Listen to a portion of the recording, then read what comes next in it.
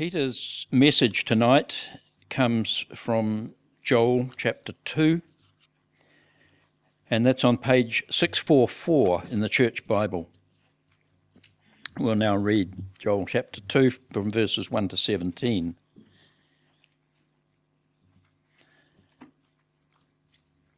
Blow the trumpet in Zion, sound the alarm on my holy hill. Let all who live in the land tremble, for the day of the Lord is coming. It is close at hand, a day of darkness and gloom, a day of clouds and blackness.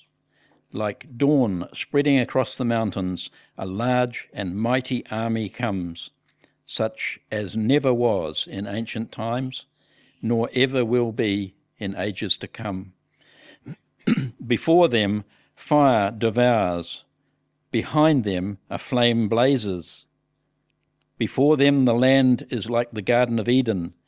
Behind them, a desert waste. Nothing escapes them. They have the appearance of horses. They gallop along like cavalry. With a noise like that of chariots, they leap over the mountain tops like a crackling fire consuming stubble, like a mighty army drawn up for battle. At the sight of them, nations are in anguish. Every face turns pale. They charge like warriors, they scale walls like soldiers, they all march in line, not swerving from their course. They do not jostle each other, each marches straight ahead. They plunge through defences without breaking ranks. They rush upon the city, they run along the wall, they climb into the houses like thieves, they enter through the windows. Before them, the earth shakes, the heavens tremble, the sun and moon are darkened, and the stars no longer shine. The Lord thunders at the head of his army. His forces are beyond number, and mighty is the army that obeys his command. The day of the Lord is great. It is dreadful. Who can endure it? Even now, declares the Lord, return to me with all your heart, with fasting and weeping and mourning. Render your heart and not your garments. Return to the Lord your God for he is gracious and compassionate, slow to anger, and abounding in love. And he relents from sending calamity. Who knows, he may turn and relent and leave behind a blessing. Grain offerings and drink offerings for the Lord your God. Blow the trumpet in Zion, declare a holy fast, call a sacred assembly. Gather the people, consecrate the assembly, bring together the elders, gather the children, those nursing at the breast. Let the bridegroom leave his room and the bride her chamber. Let the priests who minister before the Lord weep between the portico and the altar. Let them say, Spare your people, Lord. Do not make your inheritance an object of scorn, a byword among the nations. Why should they say among the peoples, Where is their God? Amen. And may, Lord, may the Lord bless this word to us as uh, Peter brings the message.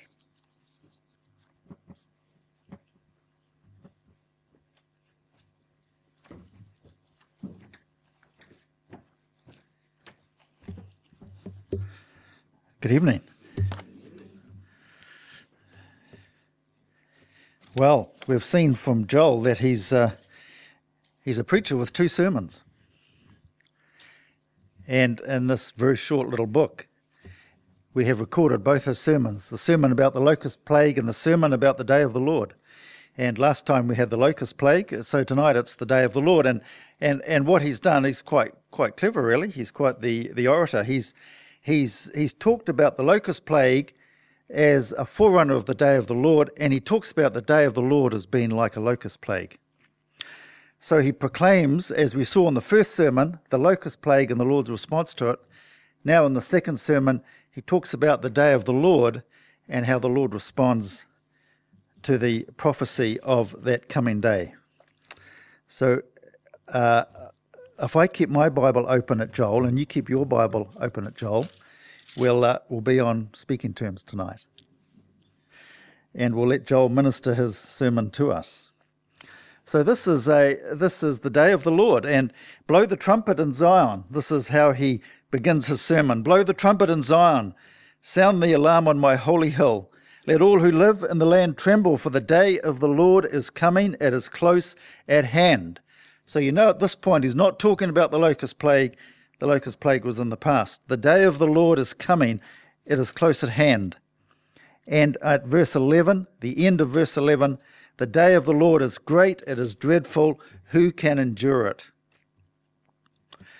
So the blowing the trumpet is like sounding a warning.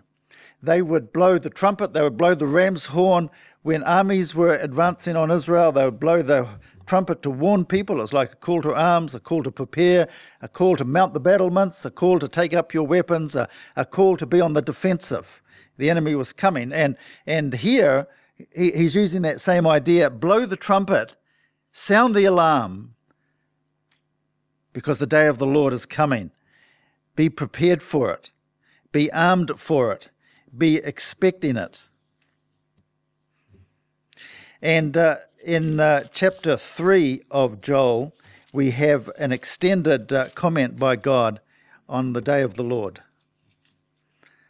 So we're going to skim and dip our way through the book of Joel, and we'll finish with Joel tonight and leave his sermon ringing in our ears.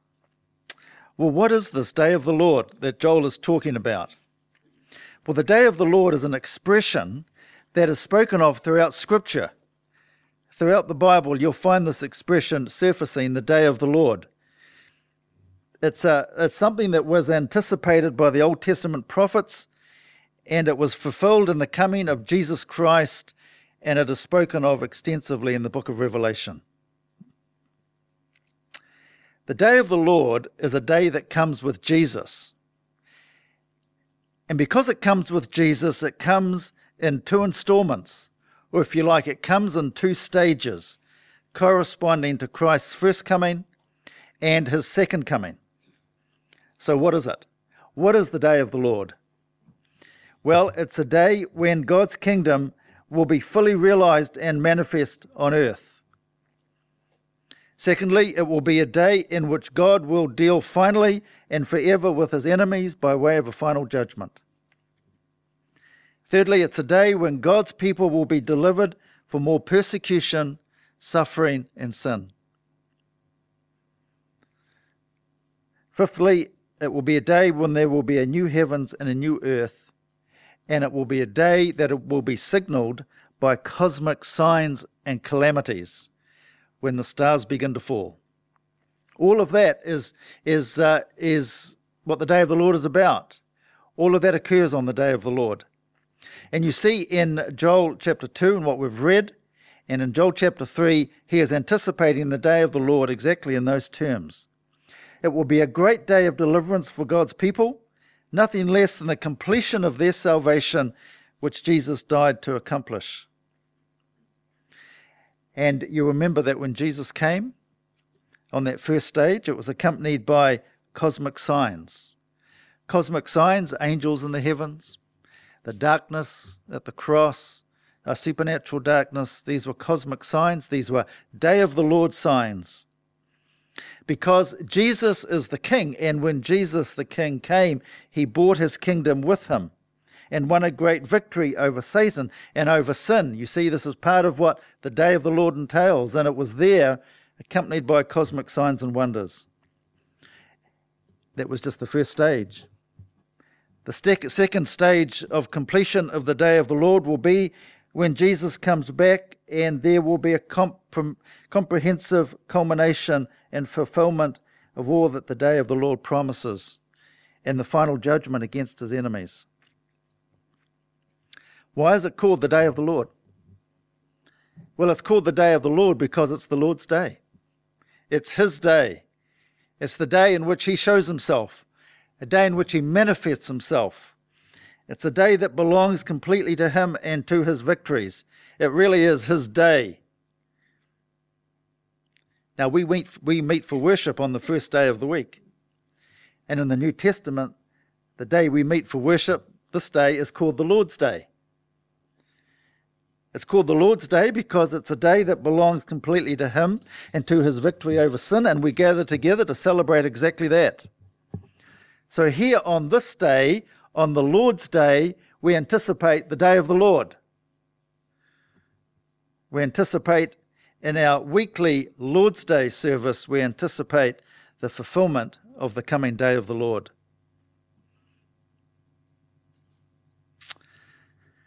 So, returning now to Joel chapter 2.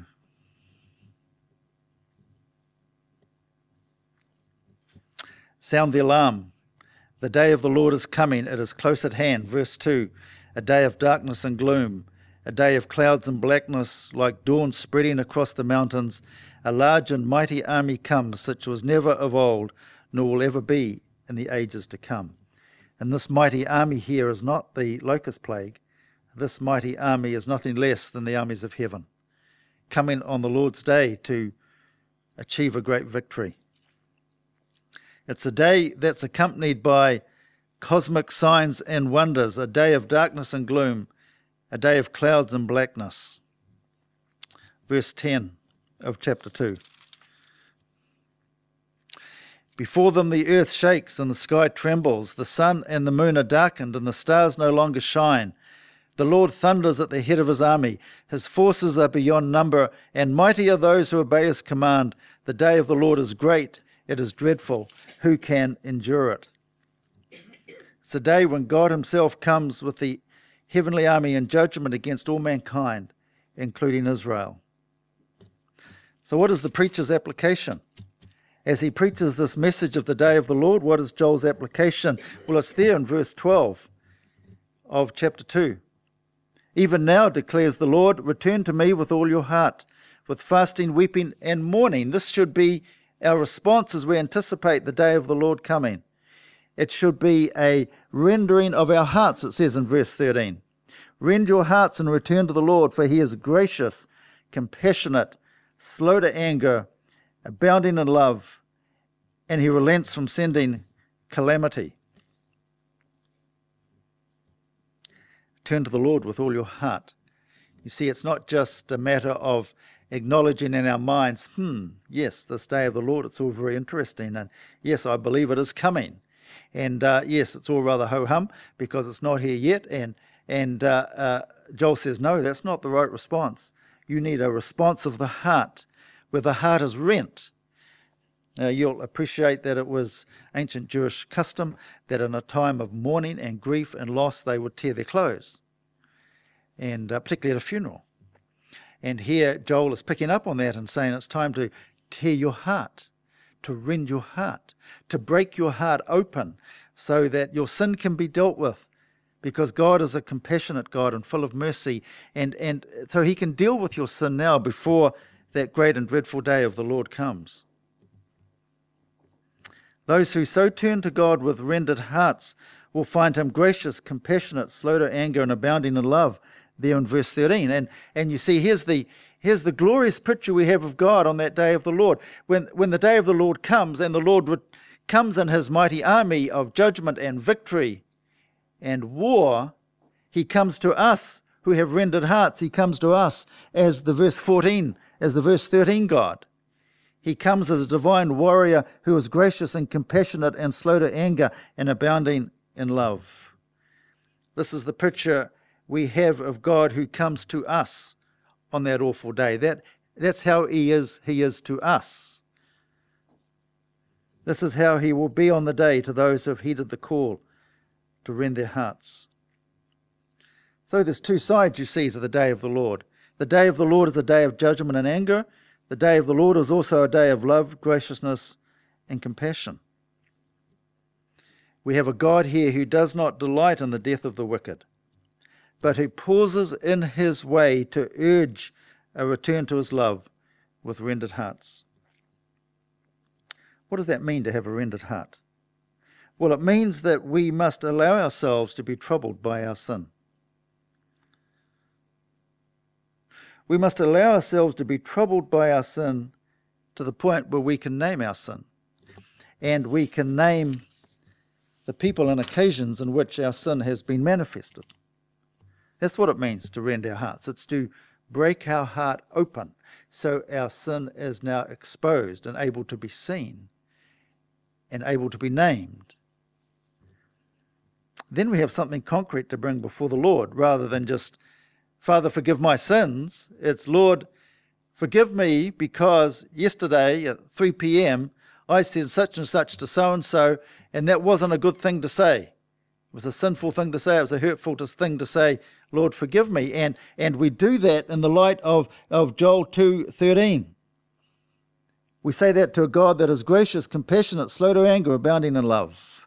so with confidence, you see, we rend our hearts before him.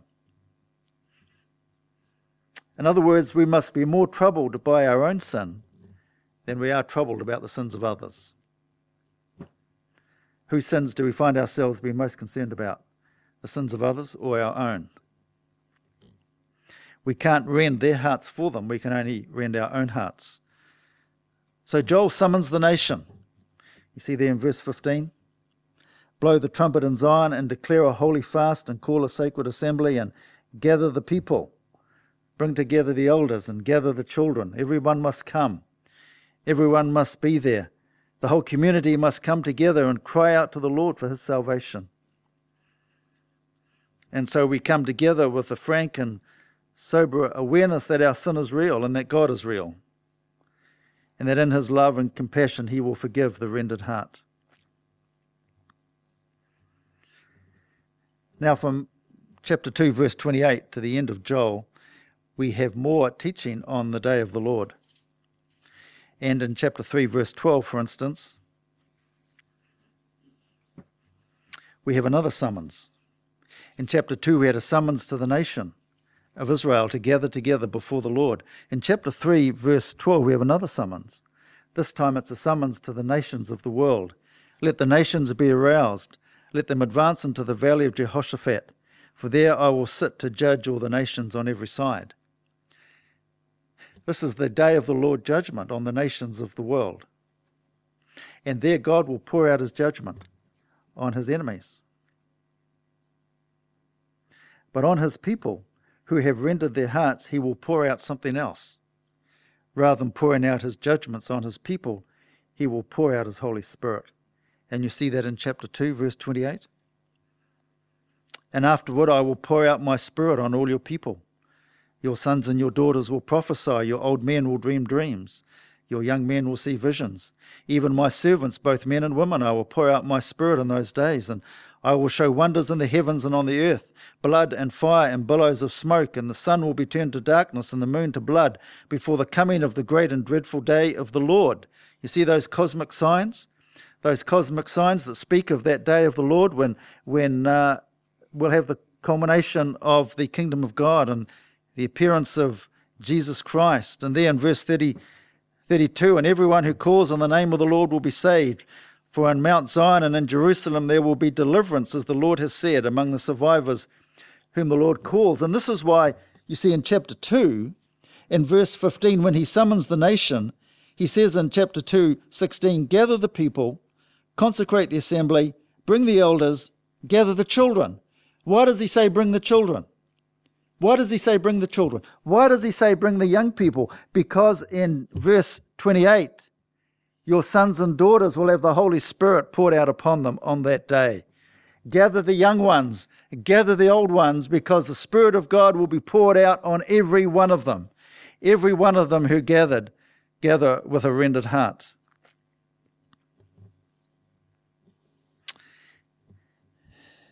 Here you see the two installments of the day of the Lord. The installment when the Spirit is poured out, in the second instalment, when the sun will be turned to darkness and the moon to blood before the coming of the great and dreadful day of the Lord, comes in two stages. In the first coming of Jesus, the Spirit was poured out generally and liberally on all his people. No one was left out, young and old, male and female, rich and poor. Everyone, we're told in verse 32, who calls on the name of the Lord will have that wonderful pouring out of the Spirit upon them. And those in verse 32, those who call on the name of the Lord, at the end of the verse will be those whom the Lord calls. You see that? Everyone who calls on the name of the Lord, and at the end of the verse, whom the Lord calls. Those who call on the name of the Lord will be the ones that the Lord has called, and He has called them together. He has summoned them together. He has gathered them together so He can pour out His Spirit upon them. That's why everyone must be present. Everyone must respond to that call, young and old. Well, we know when that happened, don't we, on the day of Pentecost in Acts chapter 2, in Peter's great sermon. He, he quotes exactly these verses from the book of Joel, thus showing that this aspect of the day of the Lord was fulfilled in Jesus Christ. In Acts chapter 2, verse 14. Then Peter stood up with the eleven and raised his voice and addressed the crowd. Fellow Jews and all of you who live in Jerusalem, let me explain this to you. Listen carefully to what I say. These men are not drunk as you suppose. It's only nine in the morning. No, this is what was spoken by the prophet Joel. In the last days, God says, I will pour out my spirit on all people. Your sons and daughters will prophesy, your young men will see visions, your old men will dream dreams. Even on my servants, both men and women, I will pour out my spirit in those days, and they will prophesy. I will show wonders in the heaven above and signs on the earth below blood and fire and billows of smoke. The sun will be turned to darkness and the moon to blood before the coming of the great and glorious day of the Lord. Everyone who calls on the name of the Lord will be saved.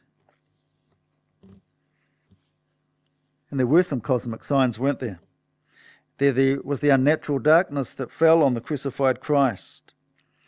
But from his cross, on that first stage of the day of the Lord fulfillment, from that cross, the message of whoever went out in the preaching of the gospel, that whoever calls on the name of the Lord will be saved. We see the universal and free offer of the gospel right here in Joel's prophecy being fulfilled in the preaching of Peter on the day of Pentecost, that the the clarion call goes out. The day of the Lord is coming. You've had the first installment. Jesus Christ has died. Jesus Christ has won a great victory. You've seen the Holy Spirit poured out liberally on all. The day of the Lord is coming. The day of the Lord is here. The day of the Lord has come. The day of the Lord is coming. Therefore, the message goes out call on the name of the Lord that you might be saved.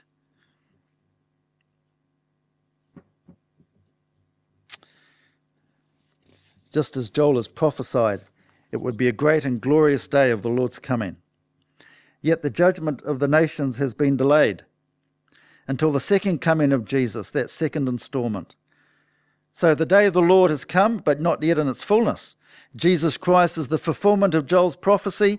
His life, his ministry, and his death ushered in the day of the Lord, the coming of the kingdom of God in power. Jesus Christ is the Lamb that was slain for our redemption, but in his resurrection and his, in his ascension and in his return, he is the divine warrior who comes to do battle with the forces of evil. The day of the Lord is nothing less than the day of the Lord Jesus Christ. It is his day from start to finish, and on that day the Lord will summon the nations to answer him, and they will come and do battle. Chapter 3, verse 9. Proclaim this among the nations, prepare for war, rouse the warriors, let all the fighting men draw near and attack. Beat your plowshares into swords and your pruning hooks into spears. Let the weakling say, I am strong. Come quickly, all you nations on every side, and assemble here. Bring down your warriors, O Lord. And so the nations come. The nations come to do battle on that day of the Lord. They come to assemble before the armies of heaven. And they find themselves, when they do that, in the presence of the judge of all the earth. Verse 12 Let the nations be roused, let them advance into the valley of Jehoshaphat. For there I will sit to judge all the nations on every side.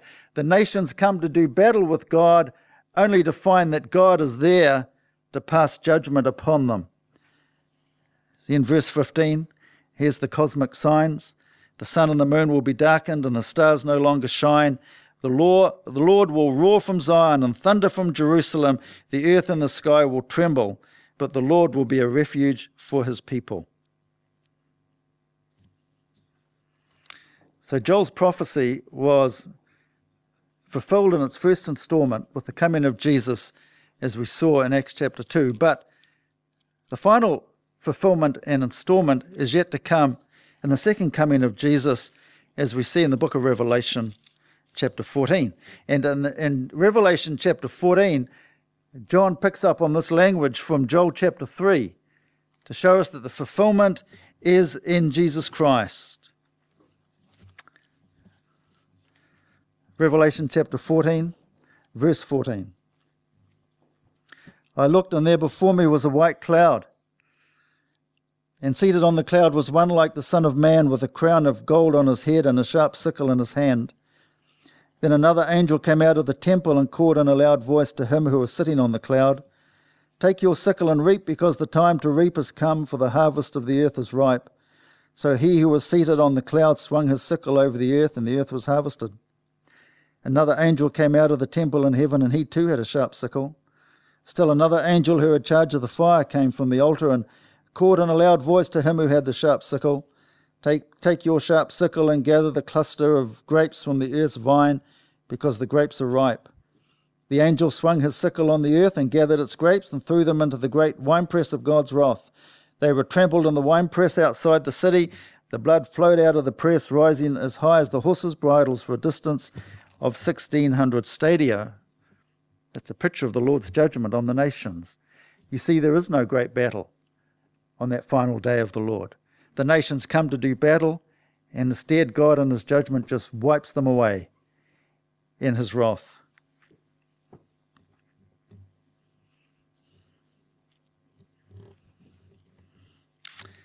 God's Spirit has been poured out. That's why the assembly of the church must include all those who have called on the name of the Lord.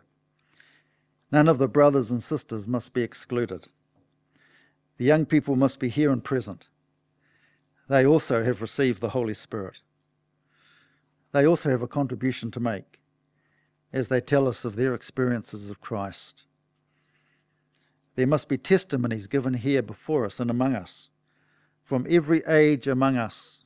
There is not one who has missed out on that glorious fulfillment of the Holy Spirit coming upon young and old.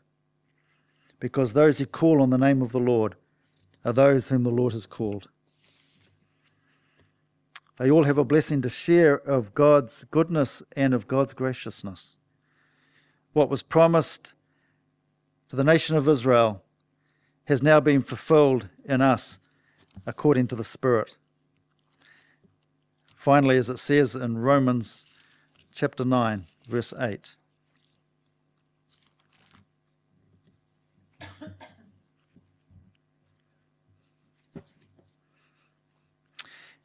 Romans chapter 9, verse 8.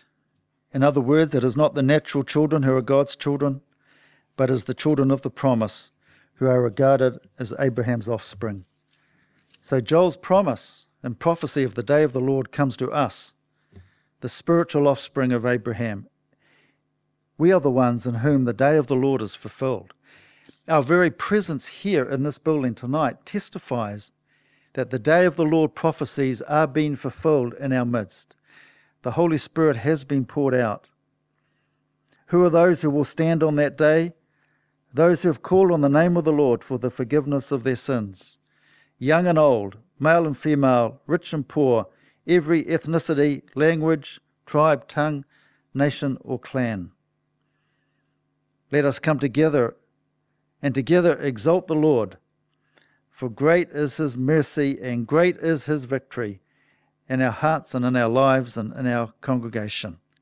The day of the Lord has come. The day of the Lord is coming. God is faithful to his promises. He will not leave his people without a fulfillment in all that he has promised. Amen.